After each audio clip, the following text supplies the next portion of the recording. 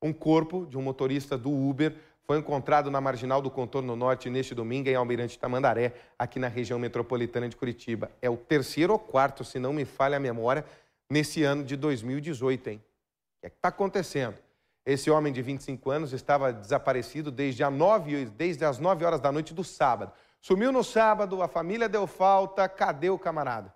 Foi encontrado morto neste domingo à tarde. Segundo a Polícia Militar, ele saiu de casa no horário para trabalhar e depois não foi mais localizado. Durante a tarde, o carro dele foi encontrado a alguns quilômetros de onde estava o corpo. Ele estava caído próximo a um matagal. Familiares relataram que testemunhas teriam visto esse rapaz de 25 anos sendo agredido na região, o que passa a ser investigado agora pela delegacia de Almirante Tamandaré, que vai tentar descobrir quais foram os últimos passos dele para saber se foi vítima de um assalto ou de um homicídio, por um outro motivo qualquer. Ele não tinha nenhum ferimento aparente. Pode ter sido uma morte por estrangulamento. Pegaram o rapaz por trás e depois jogaram o corpo no meio da rua. Essa é a suspeita da polícia. Meu pai eterno, na beira da rodovia. Se não me falha a memória, o Rafa pode até me corrigir aqui, você que acompanha bastante também o Balanço Geral amanhã, o que é o que a gente faz, o Balanço Geral também na hora do almoço com o Gilberto Ribeiro e nas praças de uma maneira geral com Salsicha, com o Buganza agora